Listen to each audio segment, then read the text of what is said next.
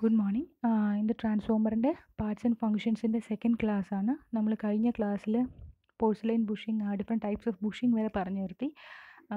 ഇനി നമ്മൾ എടുക്കാൻ പോകുന്നത് protective devices in the parts of transformer. ട്രാൻസ്ഫോമറിൽ നമ്മൾ ഉപയോഗിക്കുന്ന പ്രൊട്ടക്റ്റീവ് ഡിവൈസസ് ആണ്. അതും ഒരു സെറ്റ് ഓഫ് ട്രാൻസ്ഫോമേഴ്സ് ഉണ്ട്. അതിൽ ആദ്യത്തെ വൺ ഓഫ് ദ ഡിവൈസ് എന്ന് പറയുന്നത് ബ്രീത്തർ ആണ്. ഓക്കെ?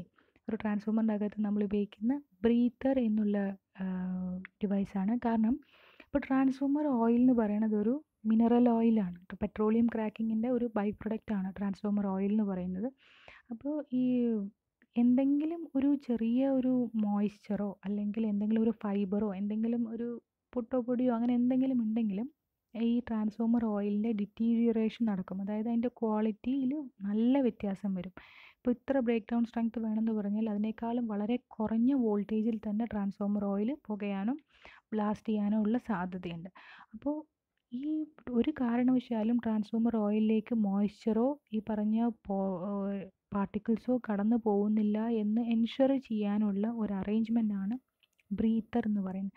അപ്പോൾ ട്രാൻസ്ഫോമറിന്റെ കേസിൽ നമ്മൾ പറയാം ട്രാൻസ്ഫോമർ ബ്രീത്തിങ് എന്നുള്ളൊരു എഫക്റ്റ് നടക്കുന്നുണ്ട്. കാരണം ചൂടാവുമ്പോൾ ഇപ്പോൾ ഒരു ട്രാൻസ്ഫോമറിൽ ഇപ്പോൾ ഇത്ര പത്ത് സെന്റിമീറ്റർ ഒരു എക്സാമ്പിളാണ് കേട്ടോ. സിമ്പിൾ എക്സാമ്പിൾ ഇപ്പോൾ ഒരു പത്ത് സെന്റിമീറ്റർ വരെ വെള്ളം ഉണ്ടെന്ന് വെക്കുക ഐ മീൻ ട്രാൻസ്ഫോമർ ഓയിൽ ഉണ്ടെന്ന് വെക്കാം.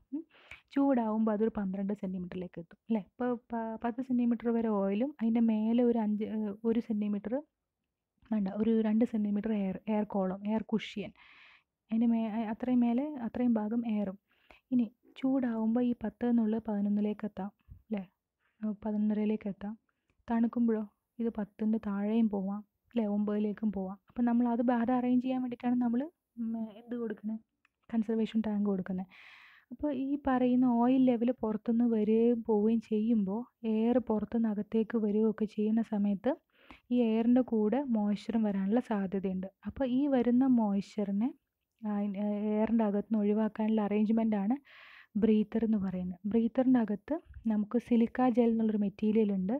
അതിന്റെ കളർ എന്ന് പറയുന്നത് കോപ്പർ സൾഫേറ്റിന്റെ ബ്ലൂ കളറാണ് അപ്പോൾ ഈ പറയുന്ന എയർ വരുന്നത് ഈ സിലിക്ക ഒരു താഴെ ഒരു അറേഞ്ച്മെന്റ് വഴിയാണ് എയർ ഉള്ളിലേക്ക് ട്രാൻസ്ഫോമറിന്റെ ഉള്ളിലേക്ക് കിടക്കുക. അപ്പോൾ ട്രാൻസ്ഫോമറിന്റെ ഉള്ളിലേക്ക് കിടക്കുന്ന എയർ ഈ സിലിക്ക ജെല്ല് വഴി മാത്രമേ കടന്ന് അകത്തേക്ക് വരുള്ളൂ. അപ്പോൾ അവിടെ നമ്മളൊരു ഫിൽറ്റർ കൊടുത്തിട്ടുണ്ടാകും ഇപ്പോൾ ഡസ്റ്റ് പാർട്ടിക്കിൾസ് ഉണ്ടെങ്കിൽ അവിടെ അത് സ്റ്റോപ്പ് ആവും പിന്നെ സിലിക്ക ജെല്ലിന്റെ പ്രത്യേകത എന്താണെന്ന് വെച്ചാൽ സിലിക്ക ജെല്ലിന് മോയ്സ്ചർ അബ്സോർബ് ചെയ്യാനുള്ളൊരു പ്രോപ്പർട്ടി ഉണ്ട്. അപ്പോൾ ഈ മോയ്സ്ചർ അബ്സോർബ് ചെയ്യുക അല്ലെങ്കിൽ ഈ ഇതിലുള്ള വെള്ളം മുഴുവൻ വലിച്ചെടുക്കുക എന്ന് ചെയ്യുമ്പോൾ സിലിക്ക ജെല്ലിന്റെ കളർ മാറും. ഇപ്പോൾ സിലിക്ക ജെല്ല് ഡ്രൈ കണ്ടീഷനിൽ ഡ്രൈ സ്റ്റേറ്റിൽ അതിന്റെ കളർ ബ്ലൂ ആണ്. കോപ്പർ സൾഫേറ്റിന്റെ ബ്ലൂ കളർ ഇതിങ്ങനെ മോയ്സ്ചർ അബ്സോർബ് ചെയ്ത് അബ്സോർബ് ചെയ്ത് വലിച്ചെടുത്ത് വലിച്ചെടുത്ത് ഇതിന്റെ കളർ മാറിക്കൊണ്ടേയിരിക്കും. അത് പിങ്ക് ആയിക്കൊണ്ടിരിക്കും. അങ്ങനെ പിങ്കായി പിങ്കായി മുഴുവൻ പിങ്കായാലതിനർത്ഥം എന്താണ്?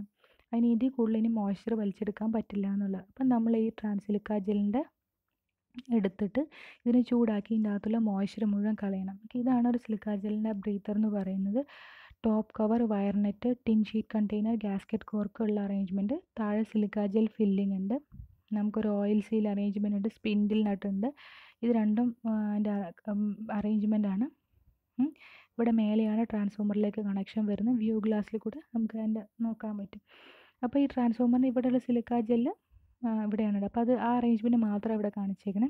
Silica gel filling drain hole ഇവിടെയാണ് എയർ ഇൻലെറ്റ് വരിക. അപ്പോൾ എയർ ഇൻലെറ്റ് വഴി വന്ന് ഇത് ഇതിൽ കൂടെ പോയിട്ടാണ് പിന്നെയാണ് ട്രാൻസ്ഫോമർ പൈപ്പിലേക്ക് കണക്ഷൻ വരുന്നത്. അതായത് ഇവിടെ ഇന്റർ ചെയ്ത് സിലിക്ക ജെല്ല് വഴി കയറി പിന്നെ അത് ട്രാൻസ്ഫോമറിലേക്ക് പോവാൻ ചെയ്യാം.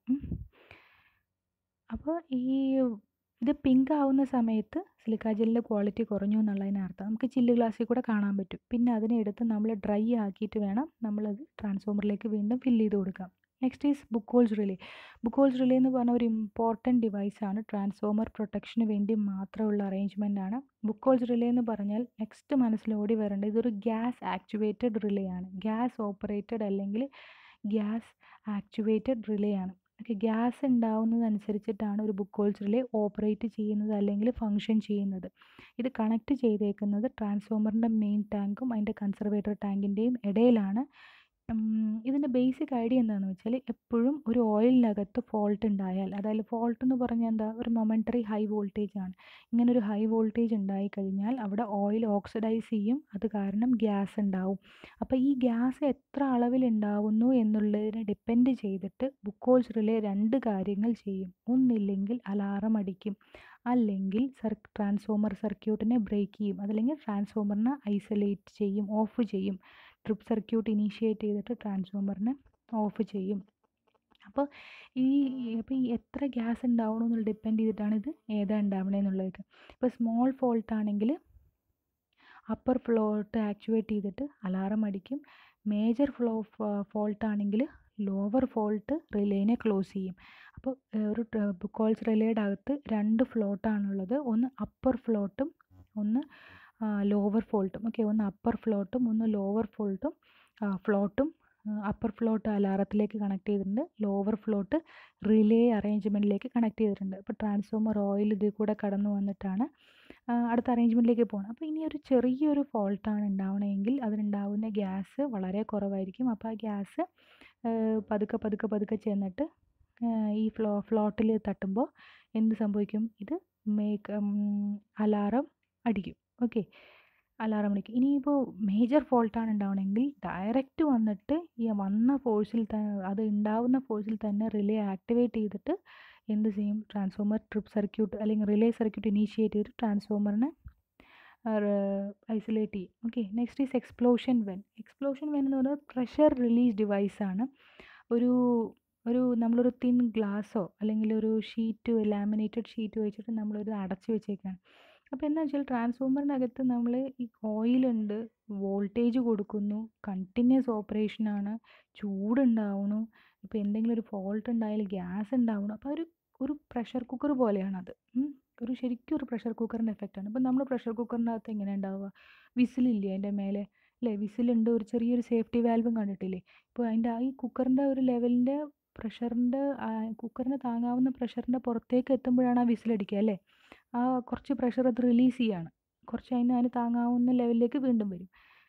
അതേപോലെ സേഫ്റ്റി വാൽവ് എന്ന് എപ്പോഴാണ്? ഈ ഏതെങ്കിലും കാരണം കൊണ്ട് ഈ വിസിൽ ബ്ലോ ചെയ്തില്ലെങ്കിൽ സേഫ്റ്റി വാൽവ് പൊട്ടിയിട്ട് ഈ കുക്കറിന്റെ വിസിൽ മുഴുവൻ പ്രഷർ മുഴുവൻ ഒറ്റയടിക്ക് റിലീസാവും അതേപോലെ ഈ ട്രാൻസ്ഫോമറിനകത്ത് എന്തെങ്കിലും കാരണം കൊണ്ട് ഈ പറഞ്ഞ അപ്പാരറ്റസ് ഫങ്ഷൻ ചെയ്തില്ല ഇപ്പോൾ ബുക്കോൾസ് റിലേ ആക്ടിവേറ്റ് ചെയ്തില്ല അല്ലെങ്കിൽ നമുക്കത് ഐഡൻ നമ്മൾ ഓയിൽ ലെവൽ ഇൻഡിക്കേറ്ററോ അല്ലെങ്കിൽ മറ്റേത് നോക്കിയിട്ട് നമ്മൾ ഇതിന്റെ അകത്തുള്ള പ്രഷർ ബിൽഡ് ചെയ്ത് നമ്മൾ അറിഞ്ഞില്ല എന്നുണ്ടെങ്കിൽ എന്ത് പറ്റുമെന്ന് വെച്ചാൽ ഈ എക്സ്പ്ലോഷൻ വെന്റ് പൊട്ടിത്തെറിക്കും.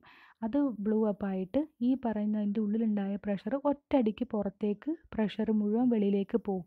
അപ്പോൾ എന്താണ്? ടാങ്ക് എക്സ്പ്ലോഡ് ചെയ്യുന്നത് ഒഴിവാക്കാൻ പറ്റും. അതല്ലെങ്കിൽ എന്താ പറ്റുക? ഒരു പൊട്ടൻഷ്യൽ ബോംബ് പോലെയാണ് ട്രാൻസ്ഫോമർ എന്ന് പറഞ്ഞാൽ ഇത്രയും പ്രഷർ ഇതിന്റെ അകത്ത് ഉണ്ടായിക്കഴിഞ്ഞാൽ ഈ ട്രാൻസ്ഫോമർ ആസ് സച്ച് മൊത്തത്തിൽ ബ്ലാസ്റ്റ് ആയാൽ ഉണ്ടാവുന്ന ഡാമേജ് വളരെ കൂടുതലായിരിക്കും. അപ്പോൾ അതിന് പകരം ഈ എക്സ്പ്ലോഷൻ വെന്റ് മാത്രം പൊട്ടിത്തെറിച്ചിട്ട് അവിടെ കൂടി നമ്മുടെ പ്രഷർ റിലീസാകും ട്രാൻ നമുക്കൊരു വലിയൊരു ആക്സിഡന്റിൽ നിന്ന് രക്ഷപ്പെടാൻ പറ്റും. അപ്പോൾ ഇത്രയുമാണ് ഒരു ട്രാൻസ്ഫോമറിന്റെ അകത്തുള്ള ഡിഫറെന്റ് പാർട്സ് അതിന്റെ ഓരോ യൂണിറ്റുകൾ അപ്പോൾ ഇതെല്ലാം ഓർത്ത് വെക്കുക എല്ലാം നമുക്ക് അറിയേണ്ട കാര്യങ്ങളാണ് കേട്ടോ ഇപ്പോൾ സിലിക്ക ജെൽ ബ്രീത്തർ എന്ന് പറഞ്ഞാൽ ഡ്രൈ ഡ്രൈ സ്റ്റേറ്റിൽ ബ്ലൂ കളർ വെറ്റ് സ്റ്റേറ്റിൽ പിങ്ക് കളറാണ് ബുക്ക് ഹോൾസ്റ്ററിലെ ഗ്യാസ് ആക്ച്വേറ്റഡ് ഡിവൈസാണ് ബുഷിംഗ് എന്ന് പറയുന്നത് ഐസൊലേഷന് വേണ്ടിയിട്ടുള്ളതാണ്. അത് നമ്മൾ പോർസലൈൻ കൊണ്ടാണ് ഉണ്ടാക്കുക conservator tank oil level maintain ചെയ്യാൻ വേണ്ടിയിട്ടുള്ളതാണ്. സ്റ്റീൽ ടാങ്ക് ഇതെല്ലാ സാധനവും കൂടി എന്റെ ഉള്ളിൽ വെക്കാൻ വേണ്ടിയിട്ടുള്ളതാണ്. ടാപ്പ് ചേഞ്ചർ വോൾട്ടേജ് ലെവൽ കൂട്ടാനും കുറയ്ക്കാൻ വേണ്ടിയിട്ട് നമുക്ക് വോൾട്ടേജ് അഡ്ജസ്റ്റ് ചെയ്യാൻ വേണ്ടിയിട്ടുള്ളതാണ്. Temperature gauge temperature range measure ചെയ്യാൻ കൂളിംഗ് ട്യൂബ് അതിന്റെ അകത്തുണ്ടായ ചൂടിന് പുറത്തേക്ക് കളയാൻ വേണ്ടിയിട്ട്. പിന്നെന്താ നമ്മൾ പറഞ്ഞിട്ടുണ്ടായിരുന്നേ ബ്രീത്തർ പറഞ്ഞു സിലിക്കാ ജെൽ പറഞ്ഞു. ഓക്കെ. ഇത്രയാണുള്ളത് കേട്ടോ okay thank you